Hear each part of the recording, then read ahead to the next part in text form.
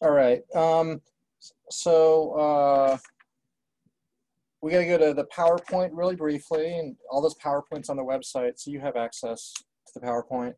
And remember, we have this little slide deck of uh, uh, supporting slides for a mostly whiteboard presentation. Okay, and we already saw a little bit from here. Uh, we showed this, how, how basically we're talking about radical stability, right? And, um, and uh, well, the, the main takeaway was that tertiary radicals are nice and stable, okay? And then secondary are a little less stable and primary were less stable than that. We, we discussed that in depth previously. This was the, the figure that explained that. It was hyperconjugation, all right? Okay, so this is, this is the, uh, little thing I needed to get get through. Um, you know, we talked about the uh, energy energetics of these reactions, right? We have propagation step one and propagation step two, and we talked about how how uh, propagation step one was a little endothermic, right? We did the calculation, little endothermic, and this kind of shows that how propagation step one, which is um, and you know we're, we're emitting termination because um, that's sort of like a separate event that just happens. All you, all you need is a little bit of termination to get the reaction going. But with propagation, it is a cyclic of a cyclic process. So like propagation step one will lead to propagation step two, and then you know propagation uh, step two creates a CL radical again, and that that kind of continues the process, right? So it's going to go propagation step one, two, one, two, etc. Whoops. Okay, and um, anyway, the energetics of this, like we saw, there's a little bit of an energy barrier as you go from the chlorine radical ripping off the hydrogen atom of methane. We did the mechanism of that. It's not uh, too crazy. And as this, these react to make methyl radical and Cl2, it goes up in energy. But then when propagation step two occurs and the methyl radical takes the chlorine atom from Cl2 and then you then then the energy and then the energy drops. And we, we saw that that is really exothermic right?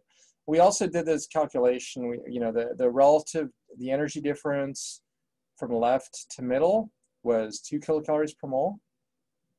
And the energy difference from the middle down to the bottom was negative 27 kilocalories per mole. So we did that. We showed that with our little calculation.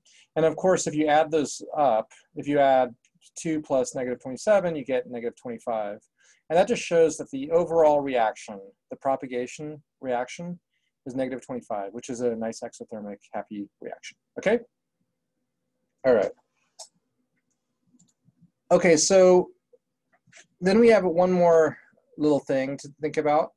Um, so this is uh, lecture lecture point five. We were just on lecture point four, right? The the uh, mechanism was lecture point four, and this is called other halogenation reactions. All right, there's a lot of stuff here, so we'll we'll step through this really uh, slowly. All right, so don't don't get too scared. All right, so what we're doing here is we're looking at fluorination versus bromination versus chlorination versus iodination. And all we're doing is looking at the energetics. All we're doing is looking at the energetics of these, right? And which one did we do here? Um, we did chlorination, right? This is the one that we did, we stepped through the mechanism. The second one was chlorination. And the net reaction in terms of the, um, all the bond cleavages and breaking and or bonds breaking and being formed. As we did all the math and we did the delta H calculation, we determined it was negative 25 kilocalories per mole, right? That's what we determined. It was exothermic. The reaction was exothermic, right? So this is what we just saw this, right? Okay, so now the question is, what if we look at other things like fluorination or bromination and also iodination? Let's go to fluorination if you do the same exact calculation, and it's all basically step through here. You don't have to do this in class or in my quizzes. Don't worry about doing these delta H calculations. But if you do this based on all the bond dissociation energies, um, it Uh, delta H is much more exothermic. So it's negative 103. The reason is there's a, there's a couple of reasons, but yeah, you know when you add up all add everything up, um, uh, the fluorine bond's a little bit uh, weaker. The fluorine bond's a little bit weaker, and this uh, fluoromethane is a, lot, a little bit stronger. The bond's stronger. When you do all the math, the delta H is negative 103 kilocalories per mole. So that's a much, much, much more exothermic reaction. Okay, that is also explosive. So it's so energetic that it, this is actually not something you would do in a laboratory unless you have very special equipment because this will blow up the building. I mean, this is this is a lot of energy, right? You have to be very very careful with fluorination of stuff. Uh, also, F2 is really really toxic and dangerous and can just a very difficult substance to work with. Chlorination is not that bad. This is something you could actually do in the lab uh, with a, a little less exothermic, you know. Bromination, we do the same calculation based on Br2 and methyl bromide, HBr, and it, it it's even it's less exothermic. It is exothermic, and it's a, a, a happy reaction. You know, you do you do need to apply heat or light, usually to get the uh, initiation started, but it's negative six kilocalories per mole. Okay, that this is going to affect some things in a, in a little bit, right? Which one is the explosive reaction? Fluorination. Very, we're going to say it's unselective. Uh, that'll make sense in a second.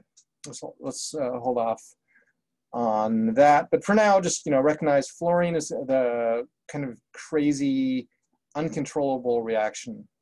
Chlorine's kind of in the middle. Bromine is a uh, proper reaction. That's delta, that's negative six. It's a little exothermic, all right? Okay, so what, and I talked to you about this before. I said that iodination is kind of a problem, right? Well, well what's what's going on with iodination? And, and uh, it's uh, it's not a reaction that'll occur so that's the big x means we can't do it.